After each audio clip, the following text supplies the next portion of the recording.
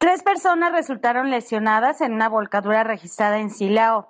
Paramédicos y elementos de la Coordinación Municipal de Protección Civil rescataron y dieron atención prehospitalaria este miércoles a tres personas que resultaron heridas al volcarse la camioneta que viajaban, la cual terminó en el arroyo del río que pasa por la comunidad de menores. El percance se registró en el tramo Silao-Irapuato de la carretera federal 45, por donde circulaba la camioneta Ford F-150 y aparentemente su conductor perdió el control cayendo al lecho del arroyo.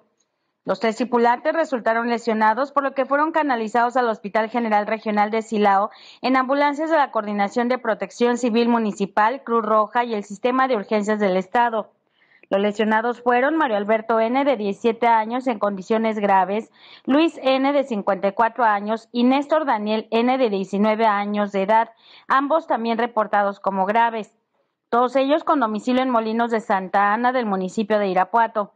En el lugar se realizaron las diligencias correspondientes. Para Noti 13 informó Margarita Villanueva.